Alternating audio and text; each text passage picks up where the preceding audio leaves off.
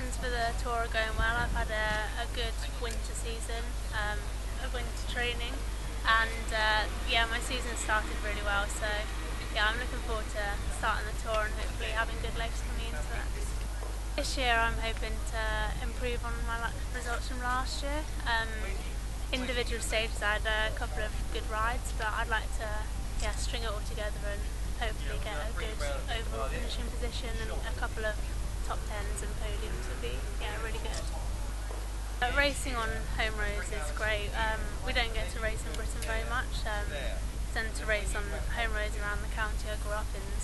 Yeah, it's special and to ride on roads I know and race on them it's a massive benefit.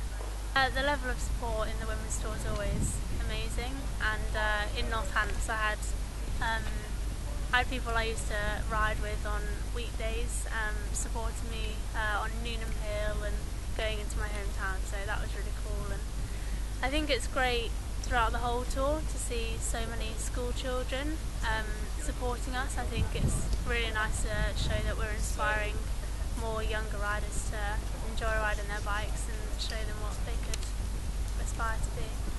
Last year's event was tremendously well supported by the people within the district and particularly in the town area.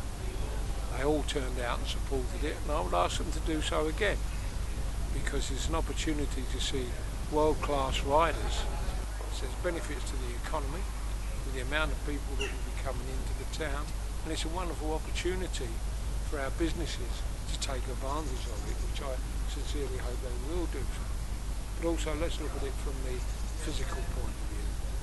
Um, one of the main things from this is that we hope that we will encourage more young women to take up cycling or to take up some sort of sport. I think there's a big